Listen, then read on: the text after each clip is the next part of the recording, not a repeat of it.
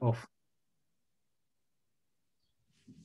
Okay, and our first speaker, our first speaker is uh, Thomas Van Riet, uh, who is going to talk about uh, De Sitter and string theory. So Thomas, the, the floor is yours.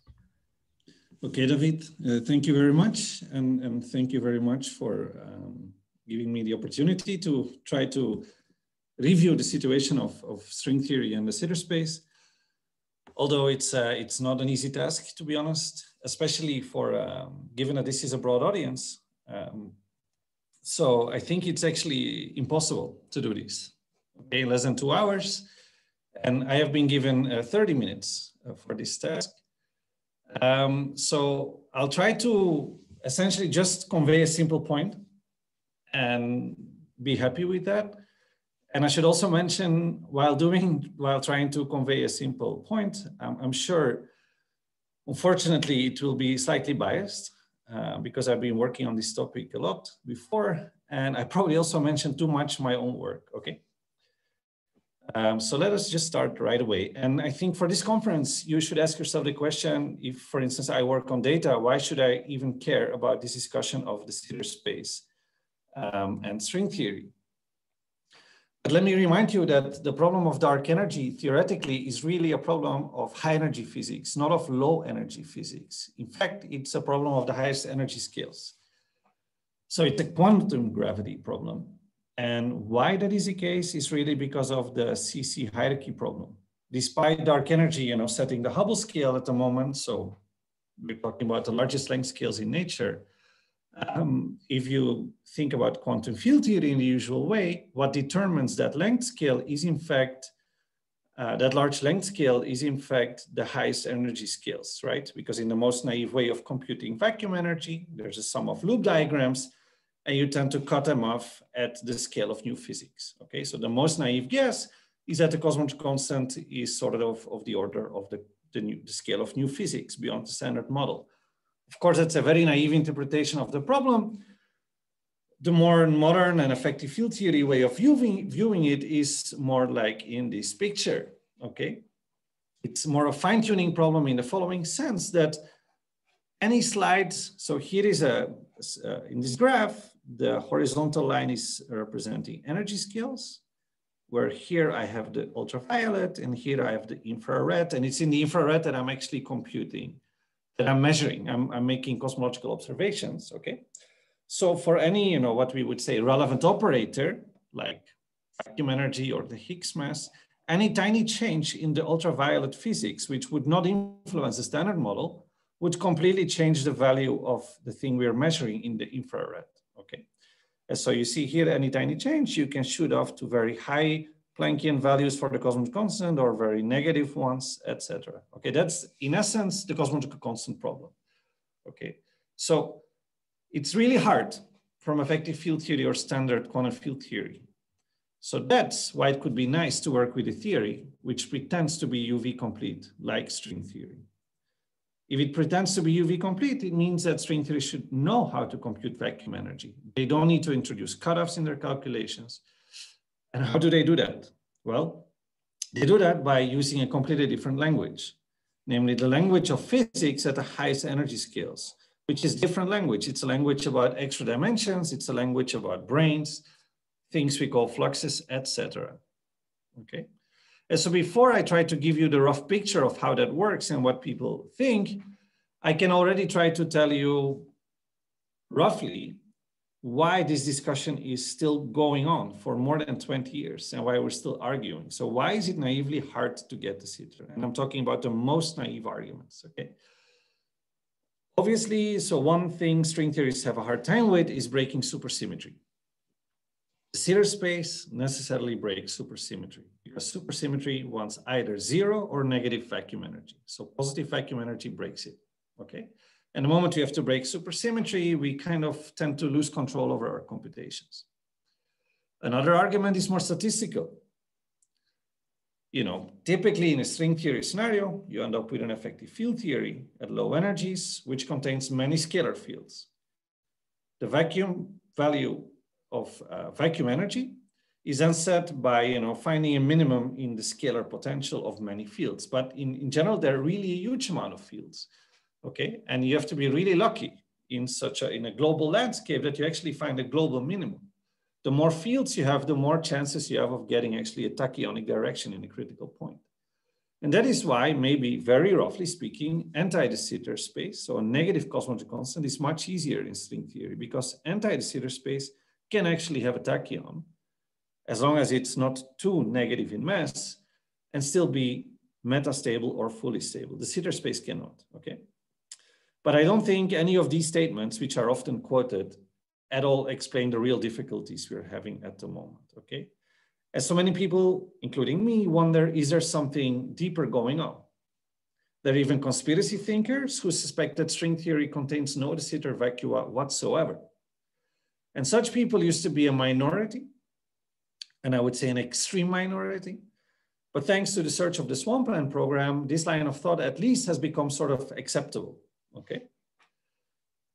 But then also, let me remind you that this is not really a debate only within string theory. If you check just the literature on, on quantum field theory, quantum gravity, then debating the very existence of de Sitter space as a consistent background is much older and you know, there were very influential works, Polyakov, Dvali, many other people who have been saying, no, we don't think de Sitter space can actually exist in the naive way we think about de Sitter space.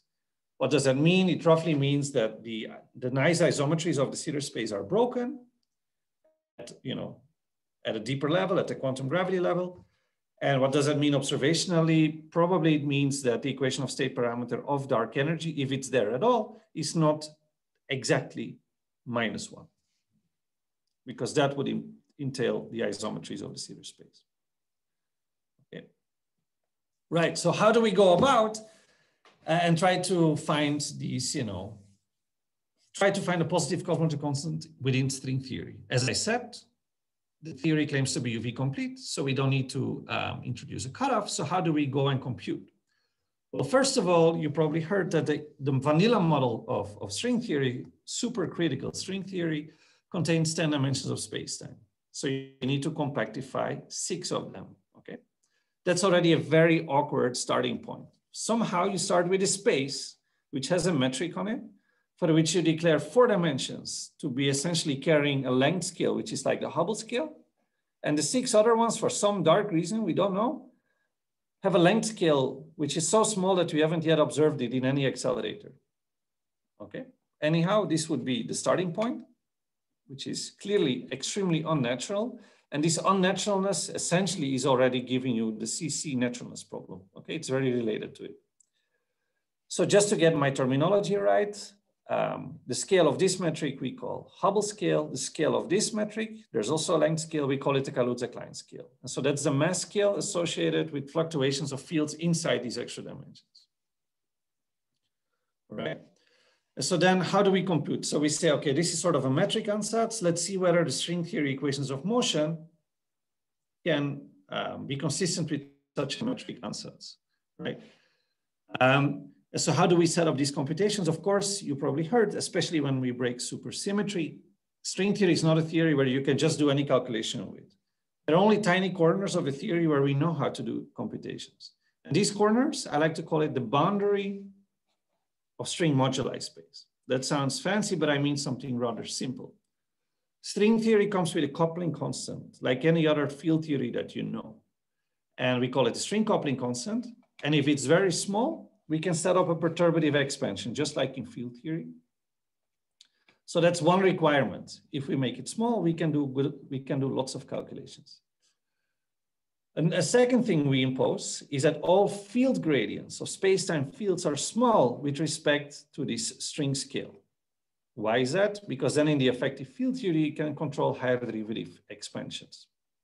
So roughly speaking, the curvature should be small enough and volumes internal volumes, like of extra dimensions, should at least be large enough with respect to the string scale so that we can trust our approximations, okay? So it's essentially doing 10-dimensional supergravity with some leading quantum corrections if we do that. Now there's one big difference with field theory, which is at the core of the problem. In field theory, you can say, I'm looking at QED with a certain value of the coupling, and you set up your expansion. String theory is different. I told you there's a coupling, but that's not really true. As you know, the beauty of string theory is that it doesn't come with any undetermined number, okay? So in fact, the coupling itself and the sizes of extra dimensions and other things are all fields themselves, and they need to be stabilized in the vacuum, okay? So it's sort of, you really need a self-consistency approach if you want to do this. You, you on the one hand need to compute this value, and then you have to make sure it's small enough so that the approximation to compute it is correct, okay? And by the way, these two numbers are very important. once you know the strings, the string coupling, once you know the size of the extra dimensions, you have also fixed the Planck scale, the Planck mass. Um, in four dimensions, by the way, this should be a square. My apologies. Okay. All right. so this is what I tried to say, but now with a picture. So we are good at doing computations in this tiny corner of string moduli space. So this is the inverse coupling. If I go to infinity, it means I am at weak coupling. And I also want my internal, all my length scales or the volumes to be large enough, but still small enough that I don't observe them, okay? So once you're in this corner here, you can really do 10-dimensional supergravity with some leading quantum corrections. And that's the most used framework to do all of this, okay? Um, I think I don't want this talk to be entirely just, you know, without equations. So at least want to give you a flavor because I think this can be understood by people that are not working on the theory easily. Um, to give you just a flavor of how we do these calculations. And I just give the highlight the simplest parts in it, okay? So there are three elements, and in fact, there are way more, but the three basic elements is that we have extra dimensions. These extra dimensions have magnetic fluxes in them and they're also branes. And it's a combination of these three that tend to be playing crucial role in all of our computations, okay? And there's some very simple physics associated to all three of these ingredients. So if you naively dimensionally use a 10-dimensional Einstein-Hilbert action, you see that, okay, you get four-dimensional Einstein-Hilbert action, and you get something extra. This something extra is actually an energy, okay? Because it appears just like that in the, in the, in the action in four dimensions right? And what is, if you just look at this, you can already see some very simple physics. If the extra dimensions have a positive curvature, think of them like a sphere, then this action is telling you by just looking at the sign in front of it that the sphere actually dynamically wants to collapse to a point because then you lower the energy. But imagine instead of a, a sphere, the extra dimensions would be say in the shape of a compact hyperboloid. You have the opposite effect. It would actually like to expand Okay, keep that in mind. Now I can do a second thing with these extra dimensions. I can put in these magnetic fields, which are abundant in string theory. What are these magnetic fields? They're not your typical magnetic field of Maxwell theory, but they're very similar. Okay, so string theory comes with, if you like, it's like Maxwell, it comes with forms, which is more than a vector. It's a form, it's something with more indices. These are P forms and string theory has many of those. So what do we do with these P forms? We actually um, give them non-zero vacuum expectation values inside these extra dimensions. And that also very entails very simple physics. So think of some extra, you know, extra, a few extra dimensions, you put a magnetic field inside of them, and then you try to squeeze those extra dimensions. And of course, intuitively, what should happen is that you cannot squeeze field lines. It costs you energy, okay?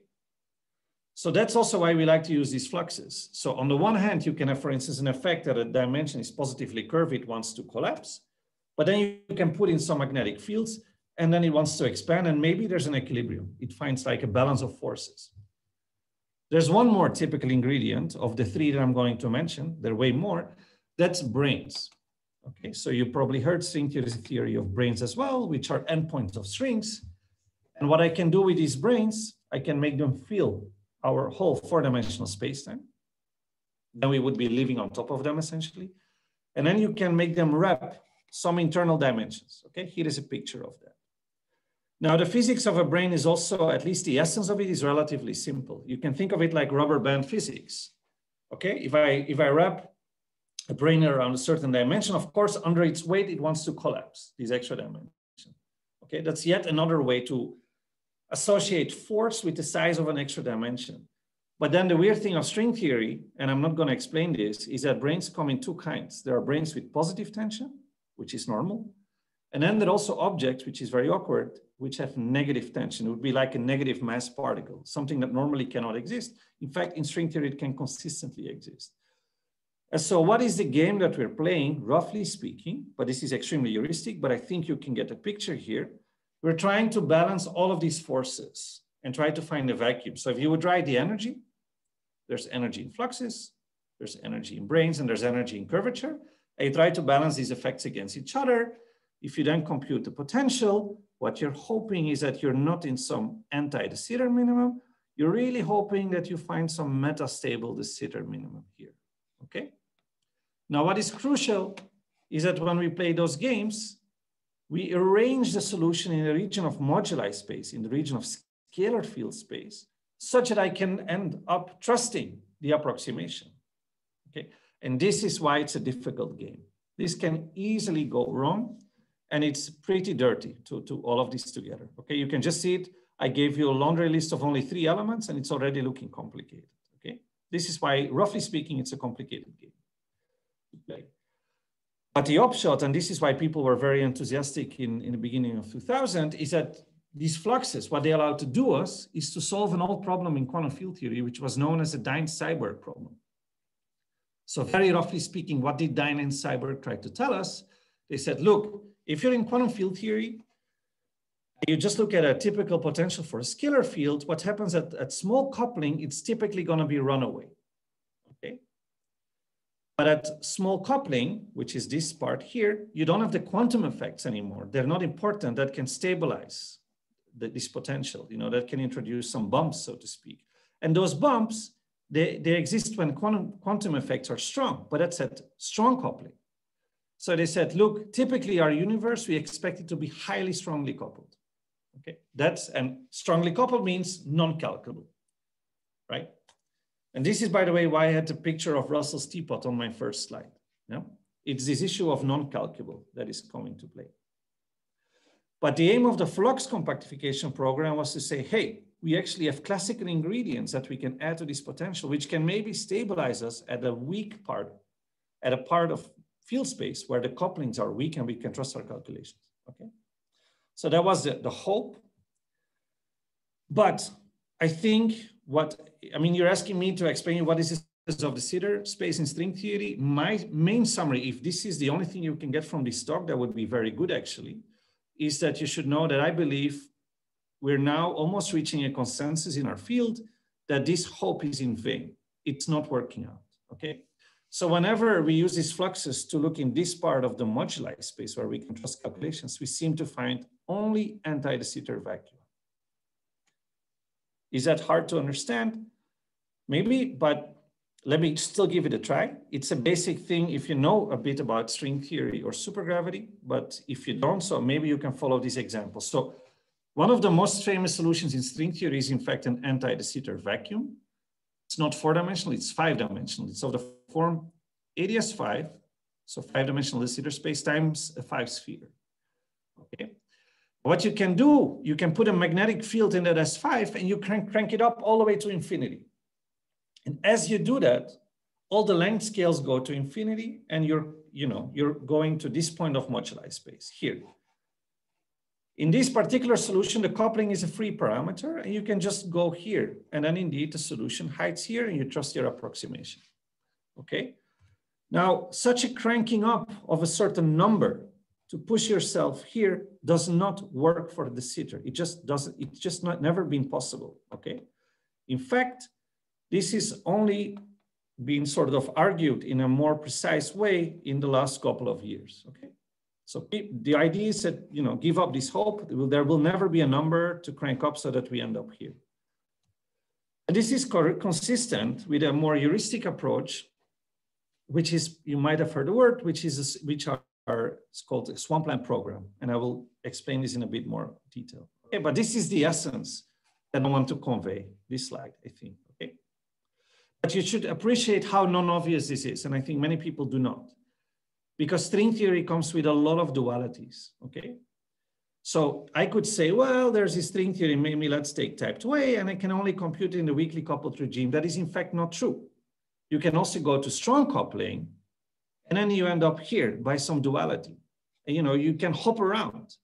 So the fact that we have different string theories which are dual to each other means that we can also, I mean, in the fact that each time we exclude de Sitter vacua, in the parametric, parametric weak regimes for every separate string theory, means that we're also excluding sitter vacua in opposite parts of moduli space, namely at very high coupling, okay? So it's kind of non-obvious to come to this statement that there's no de Sitter at weak coupling. So I would say that, and I want to now really highlight for a while this, the swampland program and explain it a bit. I would say that my honest opinion, what we have learned in the last, say, three, four years is exactly what I just explained you now Okay. it's kind of accepting that the Dine-Seiberg problem is never really evaded in string theory using what we call fluxes. So what have we seen the last couple of years? Because something really changed, say around 2017, 2018. And we have seen four approaches. So one approach, which I will not mention for the rest of the talk, is that some people just carry on as in the old days and they just try to work harder and find more examples and try to get better approximations. Some other people say, look, it's, it's time to do something different. We have to go beyond the typical technical battles. We probably should try to follow like a heuristic approach mixed with highly technical work. We should try to find patterns of why things don't work and what does work. And we should try to find links with other branches of physics. And this is a swampland program. Other people try to find more de Sitter constructions, but involving less used ingredients. They try to move away from the typical lamppost. Finally, and this is what I've been mostly involved in, is some try to scrutinize the existing de Sitter constructions through detailed technical computations and see whether you can really show that it falls apart or actually it still works. And I would say this line of research is also motivated by the swampland program. The rest of my talk, I will divide, devote to two and three because of lack of time. Okay, so let me start with trying to explain you the swampland program a little bit better. So what is the definition of the swampland? It's kind of not so difficult. It's the following idea. And here in the picture, you see string theory, but it can be generalized to quantum gravity. So what we're assuming is that at the highest energy scale, there is a theory or maybe a set of theories if you want to go beyond string theory, which is fine. And this is a theory of the highest energy scales. And of course, you need to flow to the infrared, and then a lot can happen. Okay. In infrared, you can have huge manifold of effective field theories, and that's what you see here. This is effective field theory space, right? The point of the swampland is that some effective field theories can be fine within quantum field theory, meaning, you know, they're unitary or whatever you want to demand of, of, a, of a theory. But in fact, if it's in the swampland, it means that it can never come from a UV complete theory. So that makes it essentially useless, okay? Yeah. So what you want to focus on is what we call the landscape. These are th effective field theories which we know can be embedded in the UV complete uh, theory, right? So this you could say, well, people have been doing this all, all along, right? So what is new about the swampland program? Well, I think it's mainly a paradigm shift. It's sort of a reformulation of what are the important questions in string cosmology or string phenomenology. So instead of the, you know, now I'm a bit negative, but let me nonetheless continue. So instead of trying to reinverse effective field, re reverse engineer effective field theories, and you arrive at some hand waving, you know, almost anything goes picture, because that's the picture of the landscape and a multiverse, people change their mind and they say, okay, let's, let's go back. We're going to ask ourselves, instead of the question, what is allowed, we're going to ask ourselves the question, what is not allowed. Logically, it's identical, but the approach, psychologically or sociologically, whatever, is completely different, okay? Loosely speaking, we go from equalities, trying to write down explicit Lagrangians, to inequalities, Inequalities, trying to define what are the boundaries in, in effective field theory space between the swampland and the landscape, okay? Important keywords, I think, to keep in mind with this program, why it differs from conservative string phenomenology or cosmology is that it's much more interdisciplinary. Okay. You will see, you know, people discussing cosmology are at the same time discussing black hole physics, quantum information theory, holography. Okay. And also there's much more focus on the why, on trying to find patterns within effective field theories that we know are consistently coming from string theory. Maybe some of you that have heard of this program have heard quite some criticism because there's a lot of heuristics there. I think that is not entirely correct. So the program has a very heuristic part, but is backed up by a huge amount of highly mathematical and technical work. Let, let us keep that in mind.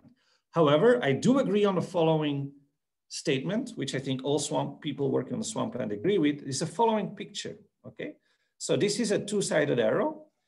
Here, you see trustworthy swampland statements, things that went from a conjecture to essentially a theorem. On the other side, unfortunately, when the trustworthiness of swampland statements or conjectures becomes way less, that's exactly when they become useful to, you know, cosmologists, people working with actual data. And that is a problem. No, of course, not unexpected. And of course, we hope that as time goes forward, we can solve this problem. Five, so, five minutes left. Uh, yeah, I think I can almost get there. So let me quickly tell you something about the heuristic part, especially of interest to cosmologists, okay? So in 2018, what happened is that on the Strings conference, uh, Vafa made a claim that you know de Sitter space can never be obtained from string theory. He even threw an inequality at, at, at towards it. Okay, so if here's an effective potential, the derivative should always be bigger than some positive value c divided by Planck times v. So if v is positive, you cannot get this excludes the existence of a Sitter vacuum. It excludes all de Sitter vacuum. However, you can immediately see that the Higgs potential, if you think about it and you go to the minimum, to the middle, is probably a counterexample. In fact, another counterexample known at the time was actually the work I had been involved in. We already wrote down, you know, actual classical de Sitter solutions from string theory. However, they all had tachyons, okay? So we never found them in, in that sense that interesting, but at least they seem to go around this inequality. However, in hindsight, this equality could still have been correct because whenever we derived our um, effective potentials and when they were evading this, they were in fact not in the regime that you can trust them. But nonetheless, um, because of this problem, it got refined. Okay, people said, but wait a minute, maybe the vacua are still allowed, but you know, if they're they can they just have to be sufficiently tachyonic, making them anyhow useless for for dark energy. And this was his second inequality that appeared. Um, so this just means that whenever V is positive and there's an OR here, you have to have tachyons which are big enough, okay? And then heuristic derivations of these inequalities appeared in a few papers. But what is interesting, all of these inequalities, all of these proofs have assumed explicitly that you're at the boundary of moduli space, okay? And away from that boundary, um, there is not a real conjecture anymore against de Sitter space. There is something called a trans-Planckian um, conjecture. And it essentially says that sub-Planckian quantum fluctuations in string theory should not become super Hubble. Essentially, this would exclude the three universes that live very long. And for our own universe, it would mean that it should decay soon. But um, I don't want to discuss this too further because this is, uh, this is quite heuristic and it's not the point of my talk. Okay. I just want to give you two other swampland conjectures. One, which is extremely, I say, essentially became a theorem, and this is the weak gravity conjecture. And this is a conjecture not for cosmology, but for the standard model. Namely, every charged particle, every theory should have a charged particle whose mass is lower than this value. Q is a charge and G is a coupling. This is M Planck. This is obviously true for the, for the standard model. So you don't learn anything. And that's an example of what I gave here is a, a swampland um, conjecture, which is probably completely true, but it's not so useful uh, to model builders because it's obviously true for the, for the standard model. However, in de Sitter space, similar arguments tell you that there's one more condition. This we have called the Festina Lente proposal. And it tells you that every charged particle in your theory should be heavier than the following um, number, the coupling of some U1 field, say the QED coupling, the charge, M Planck, and Hubble constant. So this is getting interesting because there's some cosmology here, okay? Let me, for instance, tell you, if you look at a lot of papers on bottom-up de Sitter constructions in supergravity, they violate this conjecture, okay? So these conjectures, well, there's a lot of pheno here, which I'm not gonna describe, but they can be useful as sort of warning signs for model builders that something is going wrong, okay? And here is where we get them from. When I said that the swampland program is very interdisciplinary is because you get these things from looking at evaporation of black holes. If you look at a charged black hole in de Sitter space, they all have to live within this region. So uh, usually in flat space, they all live here in this region here. But in de Sitter space, black holes can only have a maximum size, okay? They cannot go to the right of this picture. And just demanding that the evaporation of a black hole stays within this triangle tells you that these two inequalities have to be correct, okay? So this is just an example of something that is relevant for cosmology, for model building, which you actually get from something totally different, namely black hole physics. The final thing I want to do before um, my uh, conclusion is I want to show you what has been happen, what's been done the last couple of years, where people try to sort of be less negative and nonetheless try to construct de Sitter solutions, given all of the swampland trouble. Okay, maybe I can only have the time for one example. Let's see, I've listed three small examples. Okay, so what did the group in Uppsala do? I think they had a great idea. They said, look, the problem really starts with the compactification ansatz. Let's give it up let's go to non-compact models and do the old school, well, do again, go to things like Randall-Sundrum. Let's think of brane world models, okay? And what they realize is something very nice. If you have an unstable anti-de Sitter solution, say a five-dimensional anti-de Sitter space, you know, unstable ADS5 cross S5, it's gonna decay through bubble nucleation. And what is in string theory such a bubble, the wall is always a brane what you can compute from just a GR ex uh, exercise is that the cosmology on that brane world is exactly de Sitter 4. Okay, but the nice thing of string theory, we also know that gauge forces and matter are localized on that brane. So this is a completely new and kind of natural way to get a four-dimensional de Sitter universe from stringy ingredients such as unstable vacua, branes, etc., etc. Another example, um, this is a paper by Cordova, De Luca, and Tomasiello. And they said, hey, actually we disagree. We found a classical de solution at weak coupling, okay? So let me quickly tell you what, what is going wrong here or not going wrong. The bottom line is the following in their setup, which is something we also considered in previous papers, we couldn't find a Sitter solution, and nonetheless they found it. And why did they find it? Because we in our papers had inequalities of this kind. What do you see here? This is the warp factor in front of four-dimensional space, and this is the curvature of four-dimensional space-time. And we see this product has to be negative, okay? And we concluded from that, ah, okay, this excludes de Sitter. This number cannot be positive. What happened in the setup of Tomasiello and friends? This number is not integrable. In fact, if you plot it numerically, there's a discrete jump. And this jump means there's some kind of a singularity, and this singularity exactly happens at one of these you know, branes in string theory. It's called an orientifold plane, O8 minus. But what you need to know, why I'm telling you this very boring technical thing, so that you get a flavor of our discussion. So what is going on? Well, we also knew that these things are singular, but we never allowed this kind of singularity. And so now we're debating whether this kind of singularity is a good singularity in string theory or not. So you see that, I hope you understand when I say that the Dine-Seiberg problem hits us again. To trust this statement, we have to suddenly understand string theory at the very tiniest length scales and try to understand the form of a singularity in a non-supersymmetric setup. And of course, that is very hard. So we are again sent roughly speaking, to strong coupling, to very difficult problems. Okay. Let me not mention the last example I had in mind. So I hope I illustrated at least the new ideas that are on the table. And the kind of discussions that we are having to settle the status of de Sitter space. So for my conclusion, I show a typical slide of frequently asked questions from, from people that are not working on string theory, but kind of want to know the situation. So they would ask, are there the vacui in string theory? My answer would be, we are still arguing about it. And the answer is either none at all. And if there's one, there's almost certainly a landscape. Okay.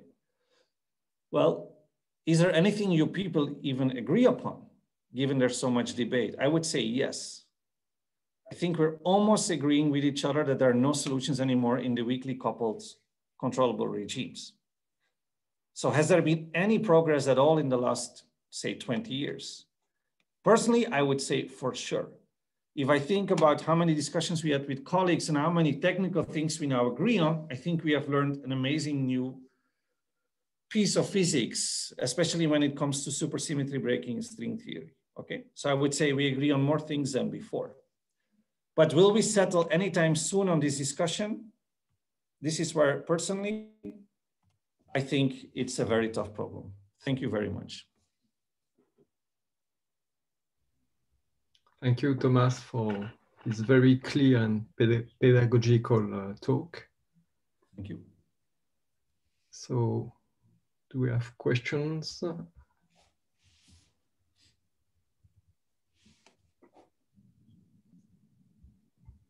I see that no, Norma is uh, Norma. Thank you.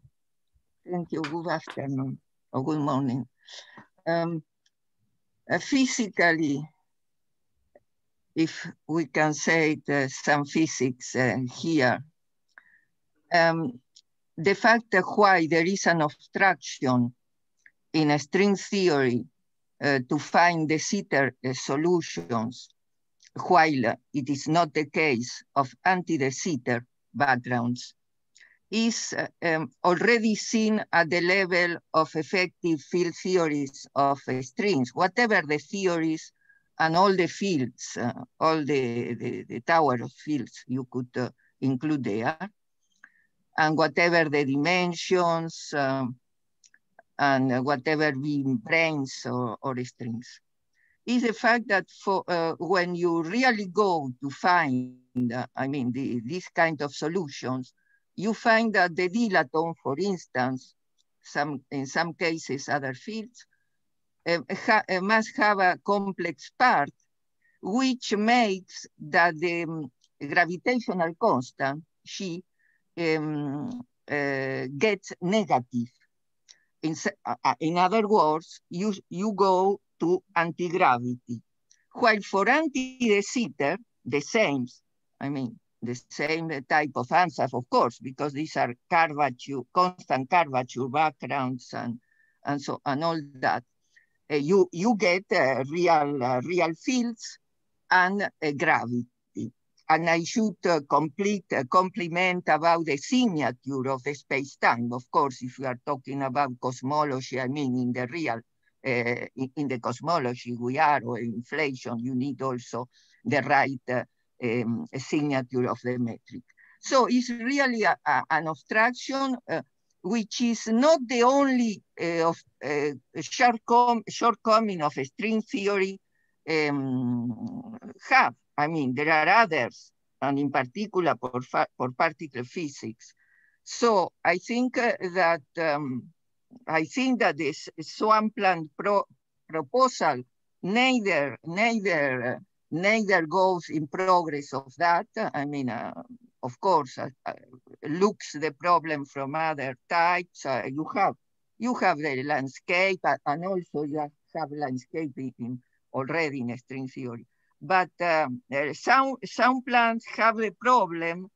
Uh, if I could say problem, I mean, perhaps others see as a as a, um, um, as a good, as a positive, that you need a lot of uh, uh, not only proposal, but uh, the series is uh, is going in terms of adding postulates or principles or adding no, but, but yeah. that's that's I, I finished that. So yeah, thank, thank you. Yeah, I just want to comment very quickly on this uh, about two two aspects. Um, So it's not, I hope I didn't tell you that string theory for sure doesn't have de Sitter vacua.